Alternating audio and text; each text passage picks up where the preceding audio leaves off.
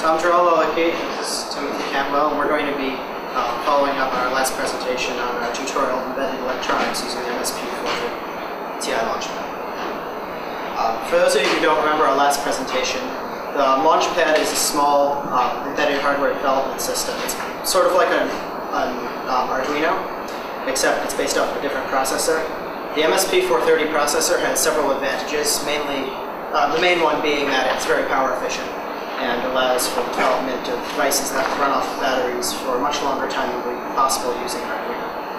This is um, able to be done because the um, MSP430 can go into, into and out of sleep modes much more efficiently than most other microprocessors. Yes, questions? Do you mind speaking up? There. Okay. Okay, so what's new since last time?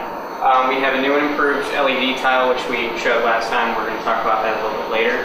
Um, I have a couple documents that are up in our repo for basic circuits. It covers kind of Ohm's law, basic circuit analysis, RC circuits. Um, we're using Paul Falstad's analog circuit simulator. I don't know if anyone has seen that. It's surprisingly handy and quite in-depth, except until it gets to electronics somewhat.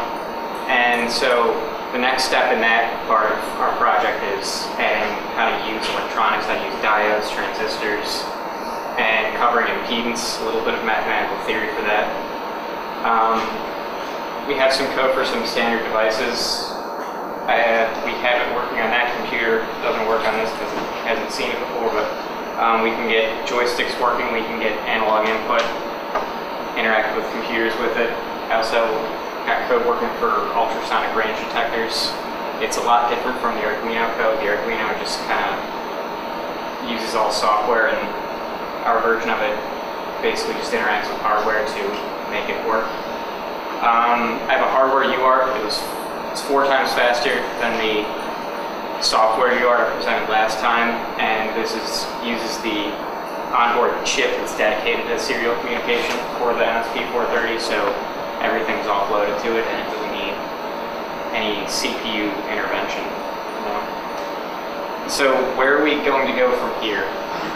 Um, we are going to try and standardize our libraries. There's a little caveat to that at the end of the tutorial. Um, there's a lot of interesting ways to interact with a computer. I know you, you buy like a $5 microcontroller and you still want to use a $1,700 computer to talk to it. But um, to try and we want I want to try and get the communication to be kind of as robust as possible, so you can actually do a lot of things in sort of a standard way, like you would with a normal program. Um, get better printing capabilities, have more functions to have the MSP430 tell the computer how it's doing, what it's doing, what kind of data it has to offer. Um, standardized ADC functions, the light board that we presented last time has pretty good capabilities when it comes to working with analog digital conversion, taking real world values and turning them into digital things. Um, I want to stress a modular structure in the code that we write. A lot of code for the MSP430 has to do with its interrupt routines, and so um, you kind of just have blocks of code. It might look a little scattered at first until you get used to programming it, so we want to make transition to programming with interrupt routines as easy as possible. And then timer routines kind of create functions to set up what do you want to do? Are you using PWM to control lights? Do you need something to happen periodically? Sort of create templates to fit that sort of structure.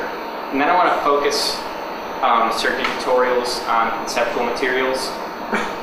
There are a lot of reference materials, so I want to keep the theory as concise and clear as possible. And then if you don't get the concepts, you can move on to some formal textbook or some other free resource. So um, last time I presented a small um, LED board. This had 81 LEDs on it, 81 RGB LEDs, and was around um, 10 watts. So based off of um, feedback I received on that board, it seemed like it would be a good idea to produce a larger scale more refined version of um, a similar circuit. So this um, new version, known as the um, Programmable Intelligent LED development system um, is based off of um, the MSP 430. However, it uses an MSP 430 that you can't get on a launchpad. It has slightly more I/O pins, but otherwise it's completely compatible with code. So this allows more devices to connect to it. You can add more sensors, more interface things. And uh, motivation for making a standalone board is that RGB LEDs and the controllers you need to run a large array of them are great, but off-the-shelf things cost quite a bit. And a fully functional development board, but with features that are optimized for driving a large array of LEDs would be very handy to have. And it's supposed to be inexpensive but fun, and designed such that someone could solder it together and it would have a pre-programmed chip on it and it would just work as soon as it's soldered together. It wouldn't need to be programmed, but it has the interfaces available so you can program it or control it from a computer. And it also has both 3.3 volt and 5 volt 1 amp logic rails, so you can control, um, add various sensors that run at either logic level. And all the um, I/O for onboard devices, which I'll cover in a moment, are able to be disabled with shorting blocks, which allows you to um, basically say, oh, well, I don't need this feature that's on the board, I'll add some other feature instead, but I won't leave it tying up the I.O. lines, I'll repurpose it for something else. And you can do that without soldering or desoldering it. So uh, this is known as the uh, PILED board at the moment. It's a name that may be changed, but probably won't. I really wanted to do a demonstration of it today. However, I put together several new arrays of various sizes. I was running this off of a 1 amp supply last night. A large array requires slightly more than 1 amp. Um, for one reason or another, the supply died and most likely damaged the board in the process. I haven't had time to troubleshoot it, however, this was running for several days, nearly nonstop prior to that. This is the um, board here, and it has three analog um, linear slide potentiometers on it. This is designed for um, the RGB mixer mode as well as other modes. You can use them for whatever code, but there's three of them so that you can create an RGB mixer and have a handy interface for that. It has a microphone, an audio amplifier, and hardware envelope filter on it, so you can have sound activated um, light changing two push buttons as well as um, high current MOSFETs for driving the LED array. And it's based off of the um, MSP430-2553, which is the highest end value line microprocessor that you can get in the Launchpad. However, they make it in two different packages. The one that um, this uses has an extra eight pins from the largest one that you can put on the Launchpad. And it um, runs in 24-bit color, However, I'll, I'll, cover that in a bit. It's actually doing the PWM at 12 bits per color, even though there's only 8 bits worth of discrete values of color. And it has a hardware UART, with, which you could do serial SPI or I2C and um, interface multiple of these boards together so you can have synchronized panels or control them from a computer or have a larger array them. So LEDs behave in a more or less linear manner, manner when you um, change the duty cycle of PWM signal driving. Our eyes don't. So if you were to drive an LED with an 8-bit PWM, you can go from 0% on to 100% on in a linear manner in 256 discrete steps. Um, however, our eyes will see um, very large steps when it's dim and very small steps when it's bright because of this um, curve where um, it allows, it's because our vision allows us to see better at night, basically. So it gives us more dynamic range by condensing levels this way. So you can uh, account for this in several uh, manners, and there are various color spaces, such as sRGB, that accounts for this and also accounts for the differences between um, the eye sensitivity for different colors. For the purpose of a board like this, it's important to compensate for the non-linearity of it, but the differences in colors is not large enough to have that. So you can approximate it with a quadratic function where it takes an 8-bit input and outputs a 12-bit color. So it's a 12-bit PWM output, but you can never use all 12 bits of data. It goes in nonlinear steps. So you end up with a lot more steps towards 0% and only a few steps towards 100% And um, this gets to uh, what I'm going to be doing in the future. I'm going to be launching a Kickstarter for creating a um, new version of these boards where the um,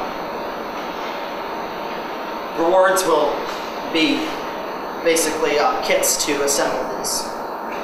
Um, the kits will require soldering, but all the surface mount parts will be taken care of already. And there are three different sizes of panel. Um, this is the si- same panel you saw last time. It has 81 RGB LEDs in it.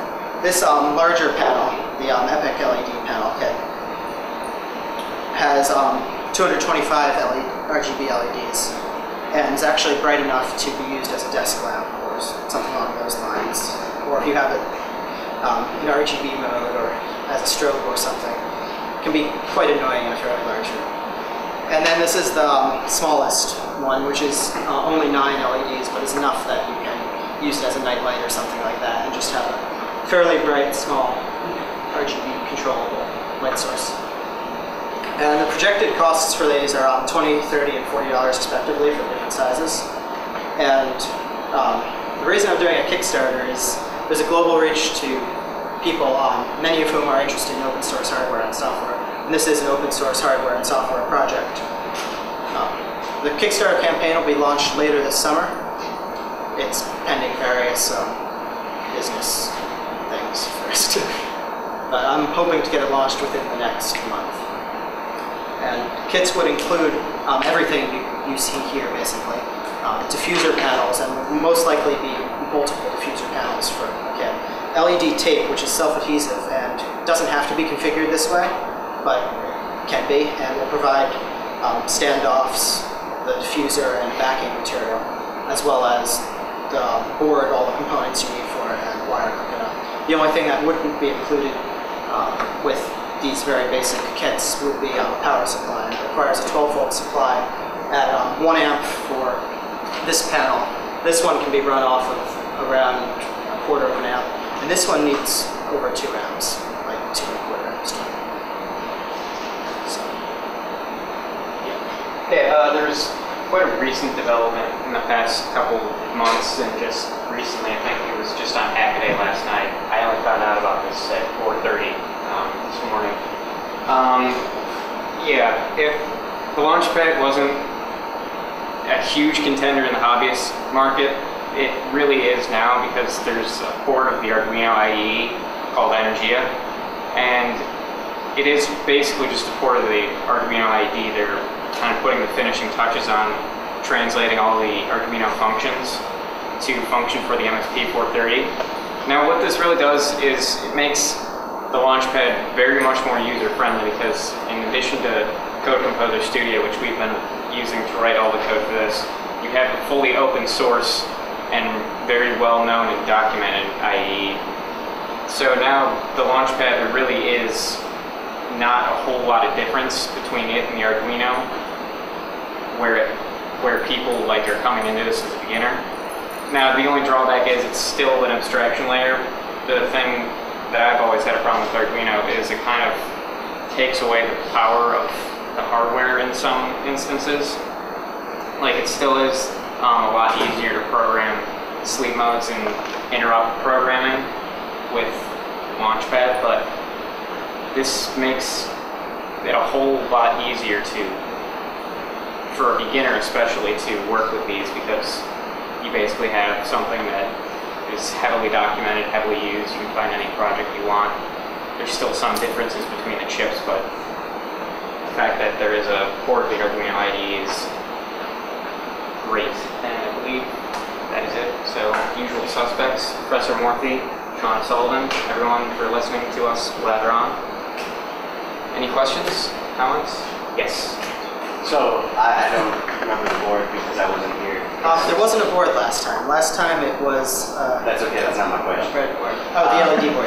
Yeah. Yes. Are, are all of the LEDs individually adjustable? They are They not. all They are. they all turn on at the same time. They all turn on at the same time. Okay. It's designed more or less as a, like a light fixture, like the kind Yeah. of thing you would use on a stage. Like in the uh, library.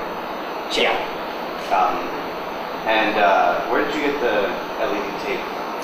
Uh, China. China. Got it. Uh, it's actually quite affordable, and Well, the because like it's really hard to find LEDs cheaply that aren't from China. Right. So I was wondering. The Kickstarter thing would allow to make the price even lower for people and have relatively fast shipping because you order such large quantities then. So I'm going to be working on a Kickstarter thing and hopefully by the time we do our next presentation, I'll be able to say that it's up, go to this URL, check it out, let your friends know. Just put a video on. Yeah, People yeah, love I it. think it's very attractive to me at least. I will buy that as a ten, and buy it, so that I will get a LED cable. It's always, that's my perpetual complaint, is I don't, LED cable.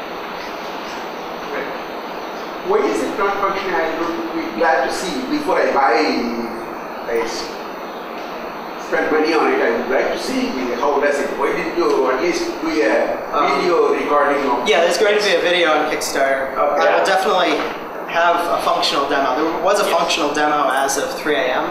Between 3 a.m. and this morning, it um, ended up killing the power supply, and I didn't have time to basically troubleshoot it and put the power supply.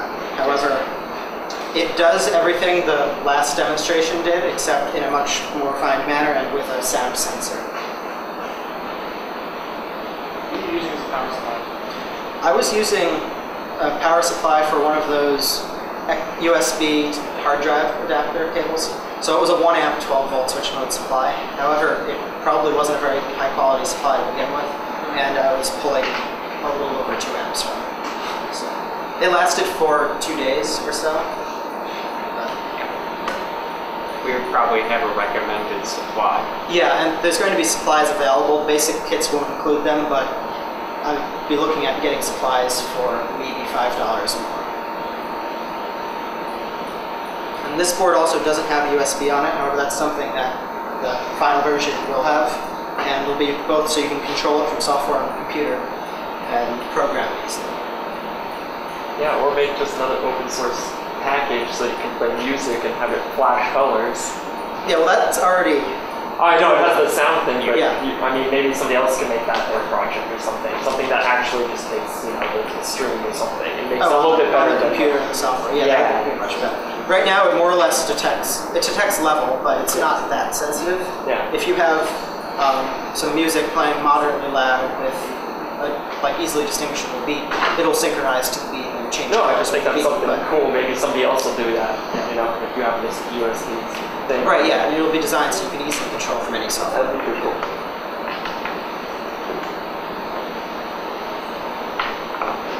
Any any other questions?